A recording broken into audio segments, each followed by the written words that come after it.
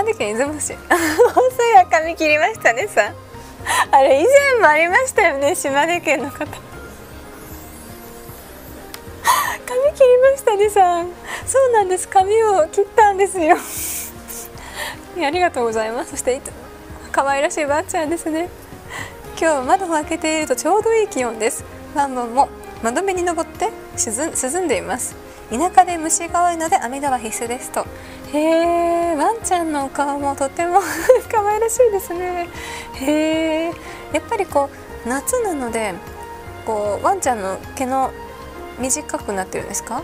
前もっとふわふわしていた気がしたんですけれどもカットしたんでしょうか？それこそワンワンさん髪切りましたね。ワンワンさん髪切りましたねと。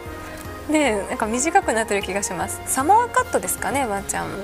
私もパピオン飼っていた時があったんですけどあのパピオンって結構耳の髪の毛が長いんですよ。なのでサマーカットでお願いしますってカットしたところなんだろうやっぱパピオンは長い方がいいですね。なんか柴犬みたいになっちゃってかわいそうなことをしてしまいました。でも本人本人とか本件？本件？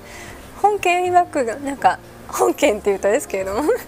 ワンちゃんそのパピオン曰く多分嬉しそうでしたよ。やっぱり髪長いの大変ですもんね。短くて幸せそうだったんですけれども。でもパピオンはやっぱり長い方が可愛い気がしますね。うん。はいということで今日もまったリポートをお届けしていきました。今日もご参加いただきありがとうございました、えー、この1年後半になりましたけれども納豆のように粘り強く頑張っていきましょう。では今日もここで失礼いたします。おやすみなさい。